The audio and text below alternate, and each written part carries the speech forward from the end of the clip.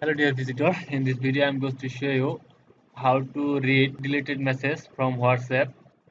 Subscribe to channel and press the bell icon for the latest updates. and never miss another update. The name is notification history. Uh, this is the apps. Install it.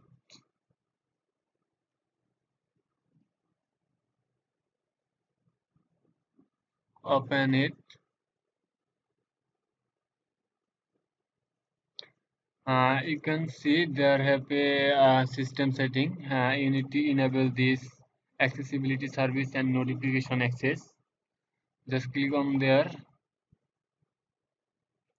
and uh, click on the notification history and turn on this. Go back and you can see this is enable. Now I need to enable this one. Click enable, allow. Go back. Press ok. Okay hello dear visitor. In this video i'm going to show you how to read deleted message from whatsapp.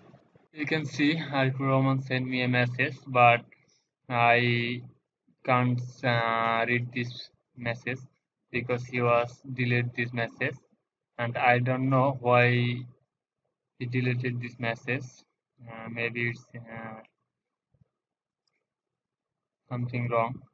But i want to know what he write on the message. Uh, i need to also know about this. So what should i do now? Just uh, go to your notification history and you can see uh, whatsapp count for messages. And the last message uh, this one. Do you know i still miss you? Okay. And you can see mm, the deleted message on the notification history. If you like my video please subscribe my channel and must like and comment share it thank you